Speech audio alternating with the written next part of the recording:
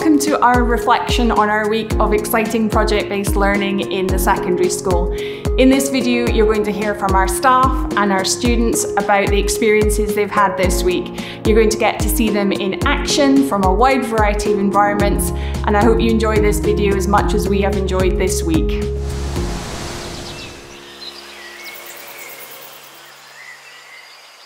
This week has been a really wonderful experience for the Year 7s because they've had to plan the entire project, which meant them working together as a team, coming up with designs for the activity for our forest school.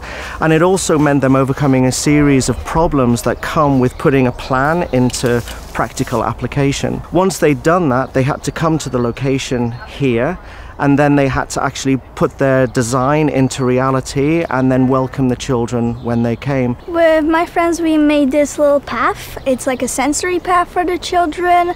There's some fun activities like they can balance on a rock, and these are materials that are from the forest. They've all done a really, really wonderful job, and I think that they have probably found strengths that they didn't know they had. They've overcome weaknesses that they didn't think they could overcome, and they actually put together a wonderful program for some fantastic children. And it was great working with them. I personally really enjoyed it. So far, the engagement of the students has been phenomenal. They have been in discussions with the kitchen to find out about the budgetary and statutory requirements of school food.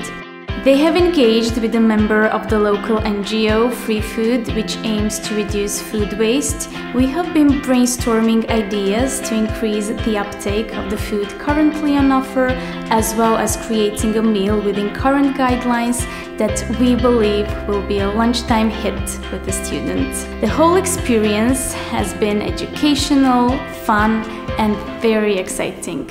I feel like we did really well. Um, I think with our ideas, uh, if Miss Martina and the kitchen, if they use them, it could really help the environment and also uh, the children in our school to feel better about how much waste we produce. Year 9 is about the opportunity to study and research travelling to Mars and what it will mean to be living on Mars. These are issues that will affect them directly as in the future that will be happening. Students are focused on those transferable skills in analysing, debating, public speaking, researching and essentially they've been able to put all those together in a real life situation. This week we're having a project about colonization of Mars and the whole like this idea of space travel. For English we're, we were doing debating, we've had a couple lessons to prepare. Then we did art, we did a trashion show. That was really fun making clothing out of plastic.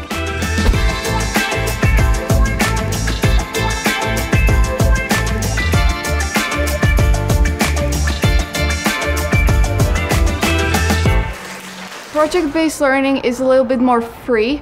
Um, you can basically express more of yourself. The main difference is that in project week you more so apply all of the skills that you learn during normal school, such as debating, then you can get a result in which you more so prepare yourself for your future rather than if you were just normally learning in school. Our U10 group did a simulation of the Model United Nations, where all students were assigned different countries. For example, I was America. Over the last couple of days, we've been debating um, nuclear disarmament. Some students have represented North Korea, some students have represented countries that are against nuclear weapons, like, like Thailand, for example. The thing that I love about Model United Nations is that it not only creates um, empathy and understanding, but it also gets students to kind of think outside the box and they have to represent countries that don't really match their own opinion. And it's absolutely amazing to see kind of the, the level of debate between students um, and students getting really, really into trying to solve this problem of nuclear weapons in the world. I personally learned a lot about how to find detailed research and how to write detailed research. I also learned how to write position papers, how to talk in a debate, how to talk as a delegate.